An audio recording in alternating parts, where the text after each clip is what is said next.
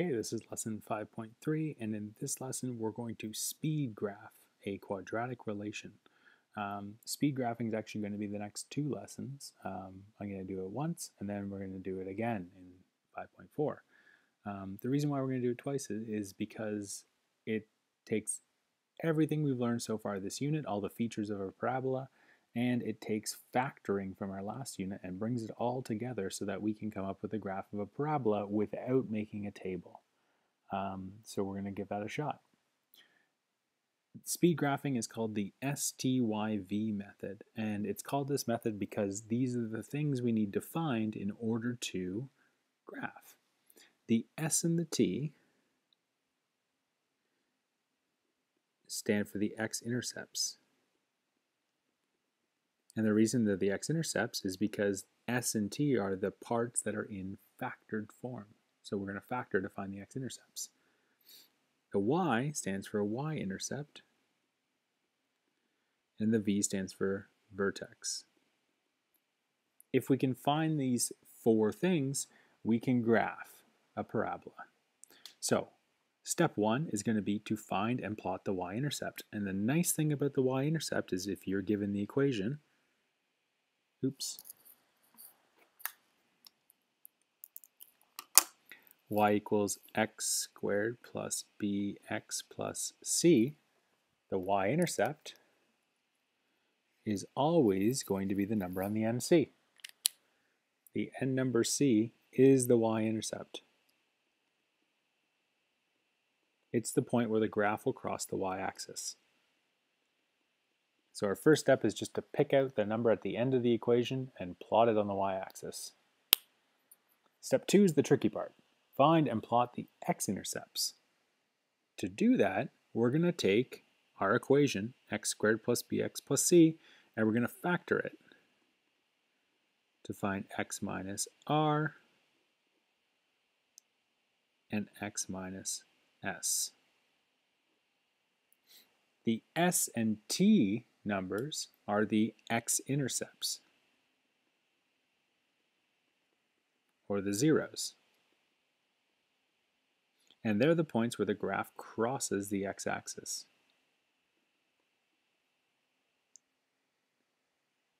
And S and T have the opposite signs.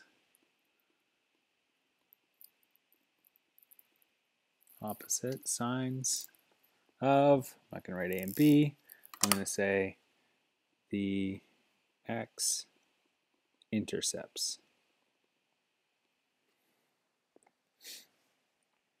Once you've found the x-intercepts, you're going to graph them, and then we're going to find the axis of symmetry. And the way we do that is we find the middle of the x-intercepts. Now, there's a really easy way to do it on the graph. That's what I'm going to show you in a second. Um, but math wise, you would add the x-intercepts and divide by 2. And then, once you have your axis, you can plot any of the reflection points.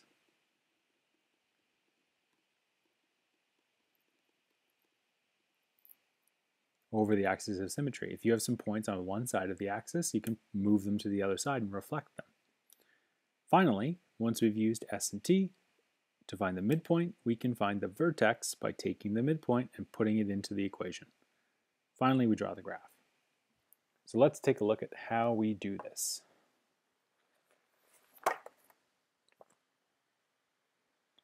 Graph y equals x squared plus 2x minus 8 using STYV method. All right, so first things first, we're going to find the y-intercept. To find the y-intercept, we take the number on the end, and that's our y-intercept.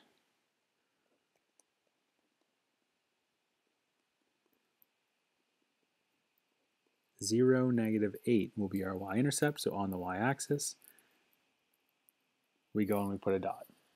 So we got one point for our parabola. Next step is to factor.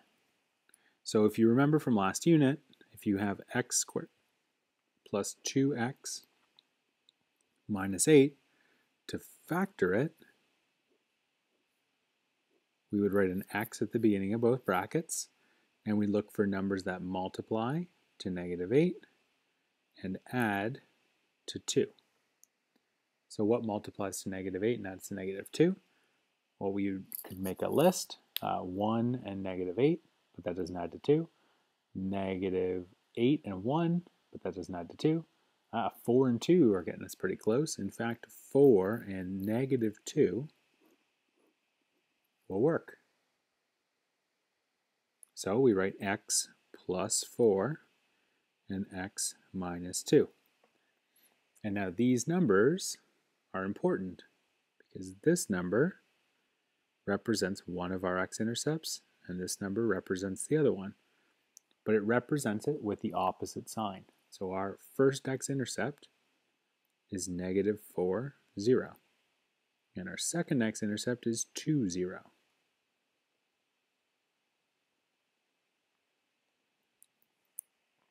So this is the trickiest step of the entire STYV method. We have to remember how to factor. And once we factored, we just take the number and change the sign. Take the number and change the sign. So we've got negative 4 and 2. Those are our x-intercepts, so we put them on the x-axis.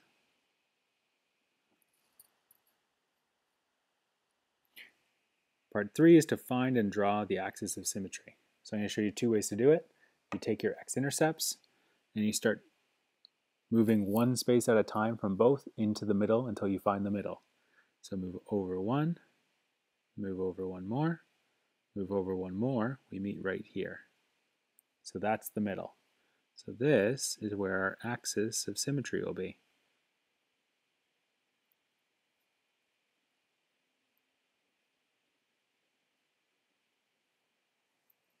So the axis of symmetry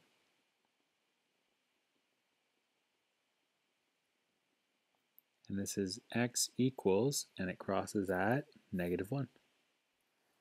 Now to do the math to show where that comes from, you take your x-intercepts and you add them. Negative 4 plus 2, and you divide your answer by 2. Negative 4 plus 2 is negative 2, divided by 2 is negative 1. So this is the math, add them and divide by 2, or count to the middle. Step four is to find and plot the vertex. Well, the vertex is going to be somewhere on this line. But where? Well, to figure it out, we have to use our equation. Our equation is y equals x squared plus 2x minus 8. Since we know the vertex is going to be on this line, we know that the x is going to be negative 1.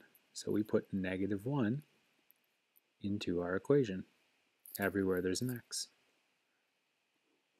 And then we use our calculator.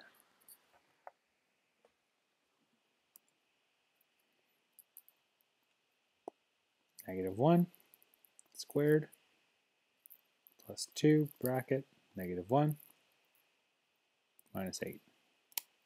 And we get negative 9. Sorry, negative 9.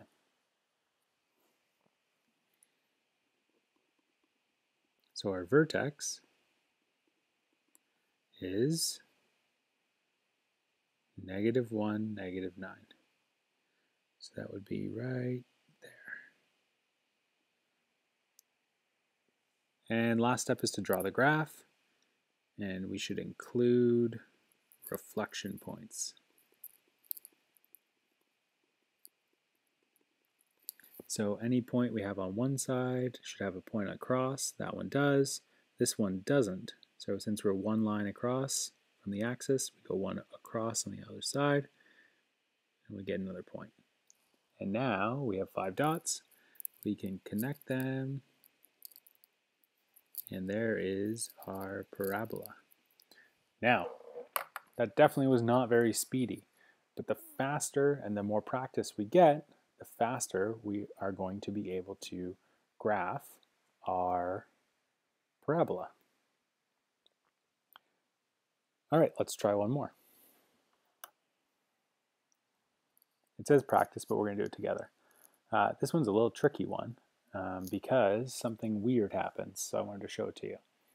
We're going to start by plotting the y-intercept. The y-intercept is just the number at the end, the plus 1, so our y-intercept is 0, 1. And that would be 0, 1, right there. Factor and plot the x-intercepts. Well, our equation is x squared plus 2x plus 1. So we're looking for numbers that multiply to 1 and add to 2. Well, that's a little weird. The only thing that multiplies to 1 is 1 and 1. And fortunately, that adds to 2. So it's 1 and 1. So we write two brackets, x at the beginning of both, and then plus 1 and plus 1. So that means our x-intercepts are opposite sign, remember, negative 1 and negative 1. They're the same. So that means there's only one x-intercept, negative 1, 0. That dot right there. Now, this is kind of weird because when there's only one x-intercept, if we remember all the way back to our last lesson, that one x-intercept has to be the vertex. So that dot actually has to be the vertex.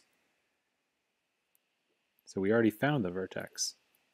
And what's neat about the vertex is the vertex is on the axis of symmetry. So there's no x-intercepts to go between. That is the axis of symmetry is right here.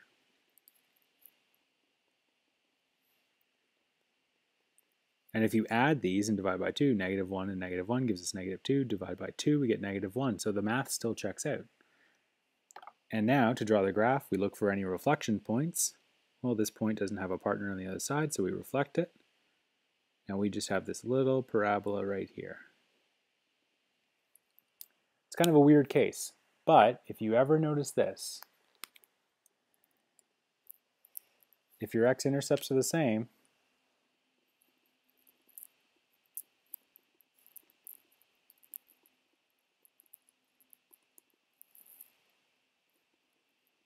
x-intercept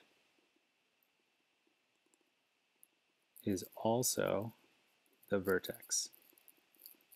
And then this becomes a very easy graph to make because we only need the three points. Okay, that was lesson 5.3, graphing using the STYV method. Um, the next lesson, we're going to do another version of the STYV method. Thanks for watching, and I'll see you next time.